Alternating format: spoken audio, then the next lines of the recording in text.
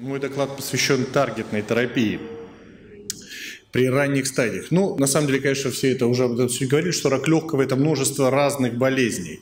И вот если мы посмотрим место таргетной терапии, то на самом деле оно очень небольшое. Да? Мы видим но только ну, порядка, может быть, там 20-25% пациентов, они имеют какое-то отношение к таргетной терапии, потому что есть некая драйверная мутация, которую можно заблокировать, и, э, собственно, после чего, ну, чем таргетные препараты, собственно, этим и занимаются, и мы можем получить эффект. Да? Если посмотреть, сколько из этих больных с ранними стадиями, то мы увидим, что э, их, конечно, подавляющее меньшинство. Большинство больных э, с драйверными мутациями – это пациенты с продвинутыми стадиями, которые в основном как раз, собственно, и лечатся таргет-терапией, а роль локального лечения у этих пациентов в целом меньше. Но, тем не менее, она остается. И, конечно, в основном это пациенты с аденокарциномой легкого. Там, можно сказать, так 95-98% это аденокарциномы легкого, все остальные встречаются крайне редко. И надо сказать, что на сегодняшний день вообще меняется сама структура заболеваемости раком легкого, аденокарциномы становится все больше. Эм, э, в нашей стране она даже потихонечку начинает преобладать над плоскоклеточным раком легкого. Это связано с изменением сигарет. Э, есть значительная доля пациентов с раком легкого, с аденокарциномой, которые не курильщики. И там как раз и встречаются драйверные мутации. И здесь даже по локализации первичного очага зачастую это совершенно разные болезни.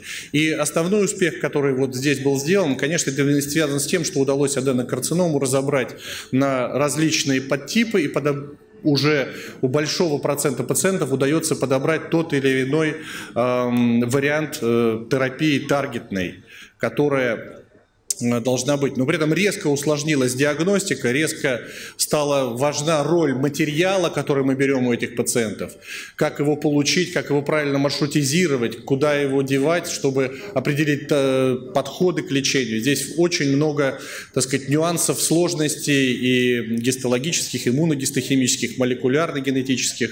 В общем, ситуация очень непростая.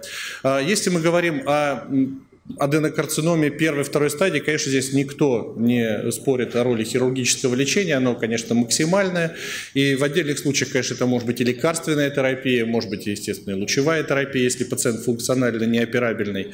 Если же мы говорим о роли лекарственной терапии у больных с драйверными мутациями, то при ранних стадиях, то, конечно, тут только начинает просматриваться роль у больных с EGFR мутацией, потому что при других драйверных мутациях роль таргетной терапии просто не ясна в силу редкости самой болезни и отсутствия соответствующих клинических исследований. Третья стадия, здесь индивидуальный подход, он связан с очень многими обстоятельствами. Ну а третья Б, четвертая стадия, конечно, это в первую очередь таргетная терапия, варианты таргетной терапии, но как раз, на мой взгляд, при третьей, четвертой стадии нельзя исключать роль и хирургического лечения, как одного из этапов циторедуктивной операции, который позволяет этим больным жить э, и качественнее, и дольше, и некоторые даже, на мой взгляд, имеют шансы в том числе и, может быть, и выздороветь. Ну, если мы говорим про EGFR мутированную аденокарциному, чаще всего это, конечно, периферическая локализация. Ранние стадии зачастую это даже случайно выявляется, и, но, к сожалению, по опыту, больные ранними стадиями имеют, скорее всего, несколько более худший прогноз в плане прогрессирования. Они чаще прогрессируют, в отличие от, скажем так, дикого типа аденокарцином. И поэтому адювантное или неадювантное лечение, что называется highly needed, оно очень требуется. Какая цель основная адювантной терапии? Это уничтожить те микрометастазы, которые где-то могут находиться. Что может химиотерапия? Сегодня об этом уже было сказано. Это в среднем 5%, чуть больше роль адювантной химиотерапии у больных 2Б, 3А, чуть меньше 1 Б, 2 А, но тем не менее роль адювантной адъювантной химиотерапии оставляет желать лучшего. Первое исследование по адювантной таргетной терапии, когда еще не было, собственно, понятно даже в дизайне исследований, кому, собственно, она нужна. Это было исследование «Радиант», где после адювантной химиотерапии у больных с EGFR экспрессирующейся иммуногистохимически, что совершенно не имеет никакого значения с точки зрения биологии, назначалась э, адювантная таргетная терапия препаратом эрлатинип, они делились на две группы – эрлатинип или плацебо. И надо сказать, что уже после того, как поняли, что не работает, разобрались и увидели, что были больные, в том числе с GFR мутацией. Но их было чуть больше в группе рлатиниба, чуть меньше в группе плацебо. И надо сказать, что увидели, что больные с мутацией имеют, конечно, несколько лучший прогноз с точки зрения выживаемости без прогрессирования в сравнении с плацебо, но это, к сожалению, не отразилось на общей выживаемости.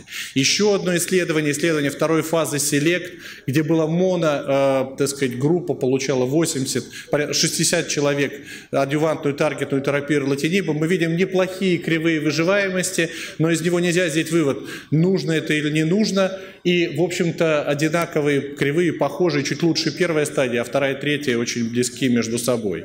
И надо сказать, что, к сожалению, не все пациенты хорошо переносят в адюванте таргетную терапию латинибом. То есть э, восприятие людей в адюванте таргетной терапии, тех осложнений, которые она может принести, это совершенно другое, чем когда человек получает по поводу лечения. Но, тем не менее, двухлетняя выживаемость без прогрессирования 88% – это очень неплохая цифра.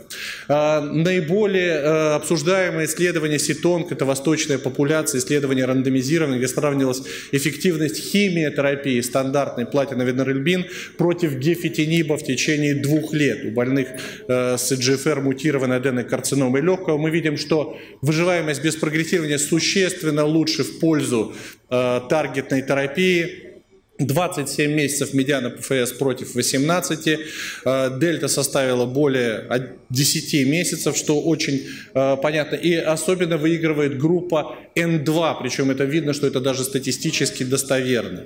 То есть, в общем-то, здесь есть как бы рациональное зерно в применении. Таким образом, мы можем сказать, что э, с мутацией GFR э, гефетидип увеличивает выживаемость без прогрессирования, таргетная терапия вообще может быть эффективна, и особенно выигрывают пациенты, чем больше стадий, тем больше они выигрывают, и, возможно, необходимо тестирование делать и на ранних этапах. Хотя окончательные выводы можно будет сделать только после получения данных по общей выживаемости.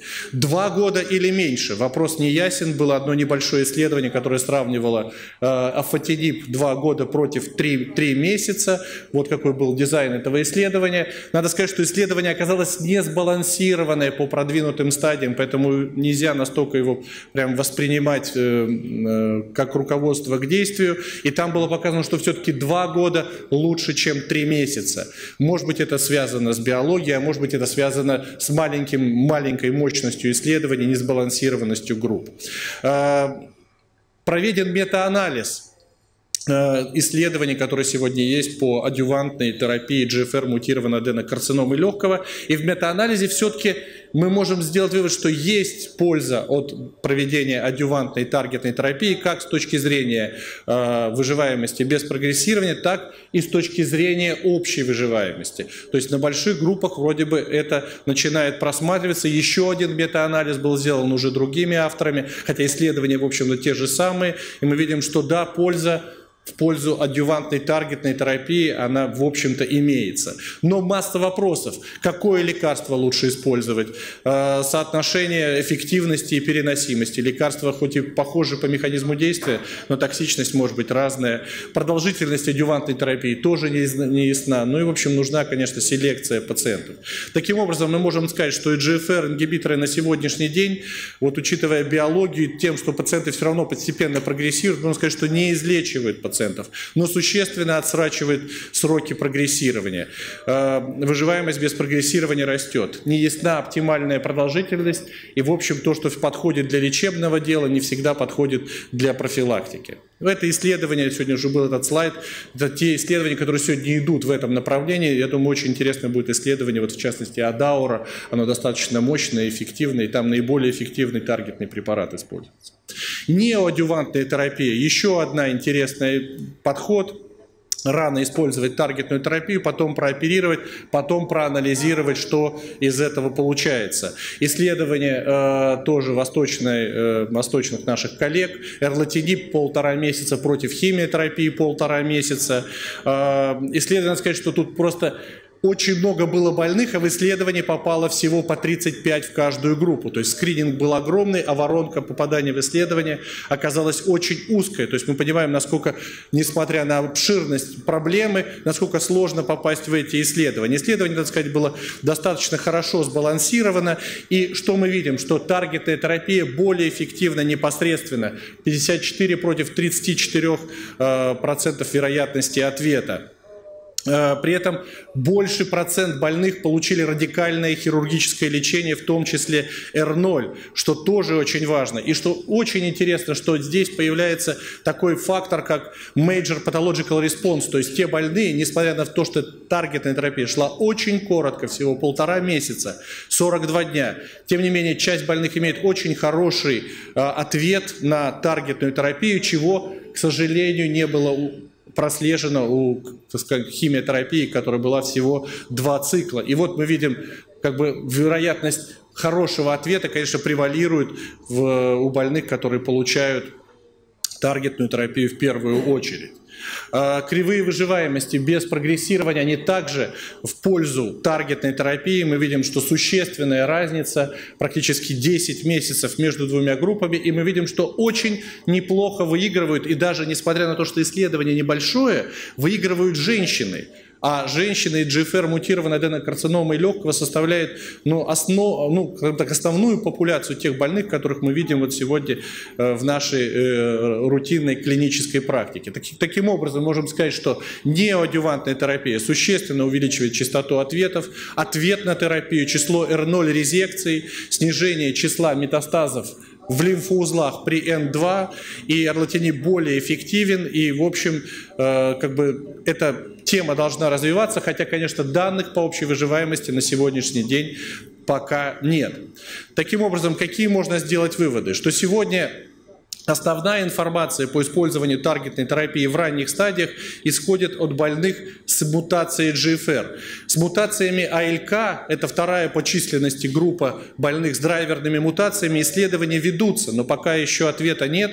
А, биологически и клинически это совершенно разные э, течение болезни, разные модели болезни, они нельзя экстраполировать одно на другое, к сожалению.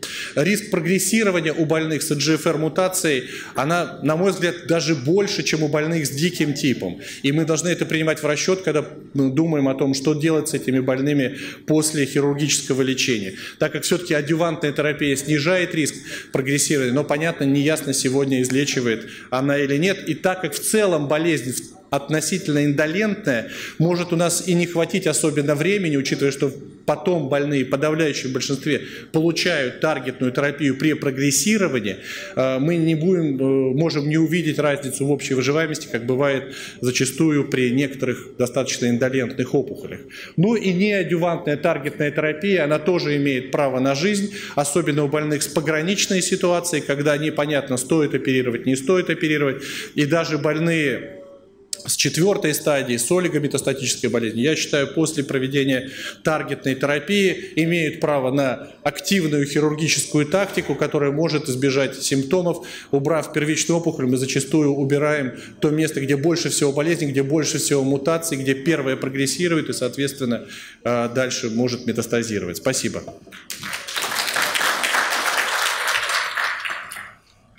Данил Львович, скажите, пожалуйста, есть, есть вопрос? Можно я задам? Можно. Данил Львович.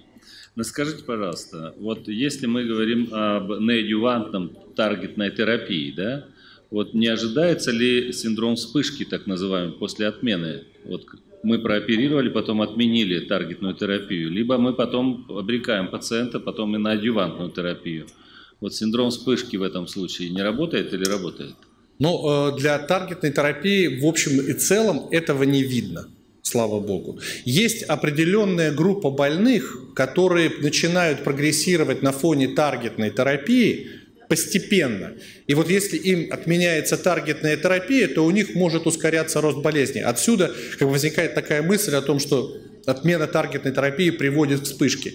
Но, скорее всего, речь идет о несколько разных больных. Мы отменяем таргетную терапию у тех больных, у которых само по себе течет быстрее, агрессивней, в сторону, допустим, мелкоклеточного перехода, более злого, и там, где мы видим, что надо менять терапию, потому что она уже явно не работает. И наоборот, оставляем таргетную терапию при таком вялом прогрессировании, которое клинически незначимо и тактически ничего не меняет, а человек все равно выигрывает в лечении, и особенно во времени назначения химиотерапии, до назначения химиотерапии, потому что само по себе это время тоже важно для больных. Поэтому я не думаю, что есть такой некий эффект вспышки.